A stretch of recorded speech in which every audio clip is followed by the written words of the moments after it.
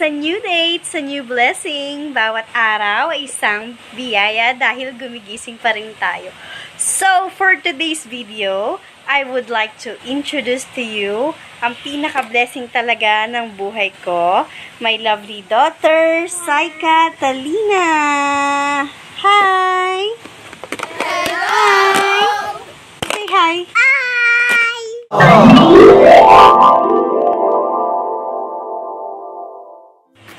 So, why we named her Saika? Um, actually, hindi ko din alam kasi ang dad niya yung nagpangalan nun eh. And, siguro, sa mga ano niya yun, isa sa mga naging ex-girlfriend. Pero, hindi, joke. Um, siguro, nagandahan lang siya sa pangalan na yun. Bigla sigurong pumasok sa isip niya nung buntis pa ako. And yun, then yung Talina, yung second name niya, Talina, is uh, yung, yung Lee, nakuha, nakuha ko sa name ng mother ng, ng mami ni Habi. And then, yung Lina, ay yung na, dun sa Talina is nakuha ko sa mom ko naman. Relina kasi yung mom ko. And then, kung paano ko siya iniluwal, um, actually, uh, CS delivery po kasi ako. Si Saika po kasi, uh, breach po siya o suhi. Um, nauuna po yung kanyang paa. Kaya, na, na panganak po siya na uh, CS. So, kailangan uh,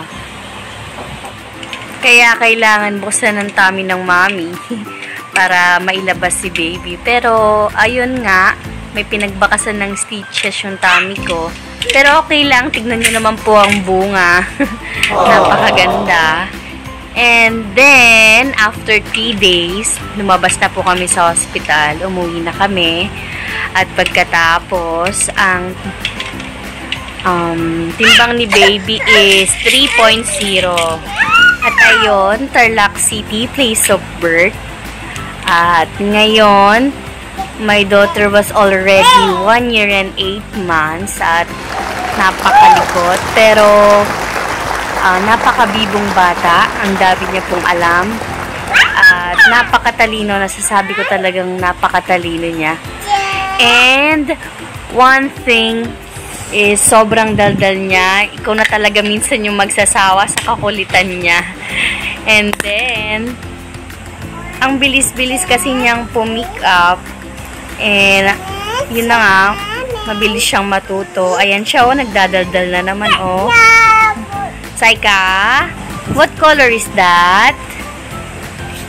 What co Green! Tignan nyo naman po. Sobrang daldal. Ang daming alam. Orange!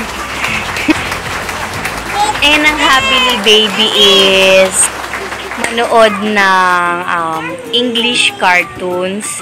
And one time, na-notice ko na pinapanood po kasi siya na pinapanood po kasi siya ng Tagalog cartoon ng dad niya. Eh, na-notice ko talaga na parang she's doing something na hindi siya nagpo-focus. Siguro, parang hindi siya interesado, hindi niya ganun naintindihan yung pinapanood niya. Mas prefer niyang manood ng English cartoons. Pero, sa pakikip-usap naman namin sa kanya, minsan Tagalog naman, minsan may konting English, naiintindihan naman niya, pero siguro talagang ang gusto niya is ano, English cartoons lang. Tapos doon din naman siya natututo, nakakatulong din naman sa ano niya, um, learning niya. And yung nickname niya is Sai. Sai. Sai. Quiet. Ayan, tawag namin sa kanya Sai. And sa ano naman po niya, um, physical appearance naman tayo. Ayan, as you can see, meron siyang ano, kulot na buhok, curly hair. and white complexion. At sa height niya, sabi ng pedyo niya, is matangkad po siya sa edad niya.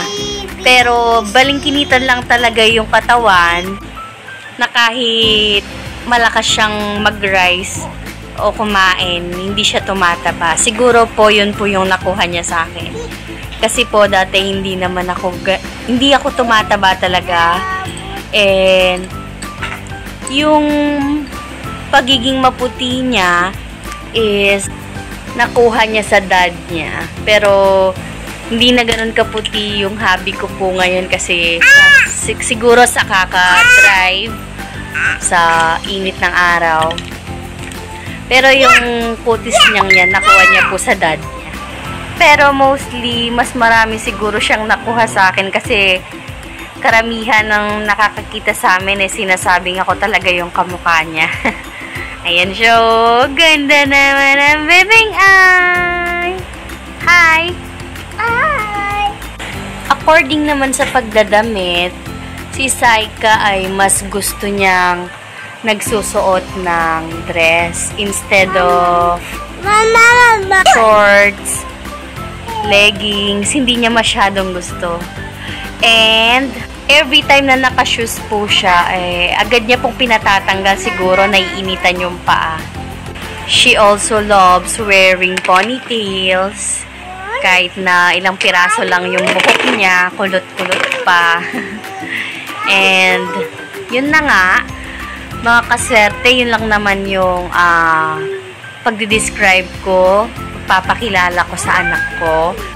At syempre, gaya ng lahat ng mami na nandyan, eh gusto nila eh mapalaki ng maayos yung anak nila. At importante is yung mapalaki nila ng ah, may takot sa Diyos. Yun naman ang pinaka-importante sa lahat. So, yun na nga mga kaswerte. Ito na yung final look natin. final look. O yung final na message ko sa mga mami dyan. Ah, mabuhay po tayo dahil ah, sabi nila ang bata o ang baby ay isang blessing. Lalong-lalo na sa isang babae o sa isang magulang. And let's claim it mga kaswerte na oo nga naman, napakaswerte natin, napaka-bless natin dahil may mga anak tayo and uh, nagawa nating uh, uh, dalhin sila sa sinapupunan natin sa loob ng 9 months. Sabay-sabay natin i-claim mga mommies out there na swerte tayo, swerte tayo dahil may mga anak tayo. And yan ang mga totoong blessing sa buhay natin, sa mga parents na nandyan. Yan talaga yung pinaka ah, the best na nangyari sa buhay natin. Let's claim it na nakipag nakapagbigay tayo ng buhay. At yun ang buhay na binibigay natin sa mga anak natin. And let's give time and care habang nakakasama pa natin sila, habang baby pa sila. And napakaswerte natin dahil pinagkatiwala sa atin ng Diyos yung mga anak natin dahil alam niya na mapapalaki natin sila talaga ng maayos. At sa mga magulang dyan, mabuhay po tayong lahat. And let's go mga kaswerte na someday masasabi nila na may magulang ako na kailanman hindi ako pinabayaan. And mapaproud sila sa atin. And let's do it now! Ibigay natin yung the best. Wala nang patumpik-tumpik pa. Yun na yun. So again, what is your name? Seta? Saika! Saika Malina Ibarra! So, that's all for today mga kaswerte. Don't forget to like, share, subscribe, and click the notification bell para maging updated kayo sa aming susunod na video. Bye! Say bye! Bye! Bye!